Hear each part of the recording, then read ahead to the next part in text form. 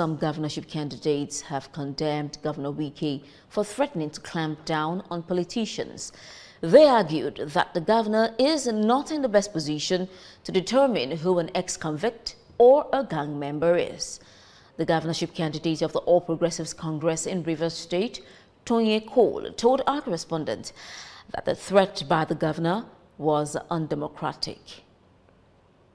I, I, think competition. I think politics should be about competition. We are getting into an area where uh, uh, politics is about issue-based, and it should be about issue-based politics right now. We must compete. We must compete for the votes of people, not to threaten people and stop them from competing. We must compete because the only way that you will get the best for people is to allow them to compete so that they can see who has the best ideas for them.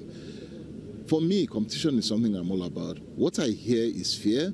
What I hear at the end of the day is that they are afraid of competition. I hear that they are afraid of allowing ideas to come out. I hear that they are afraid of allowing people to come and gather so that they will not go out and bring superior arguments out. And I don't think that that's the best for River State. And on her part, the Labour Party governorship candidate in River State, Beatrice Itubo, said her party is not intimidated by the antics of the current administration.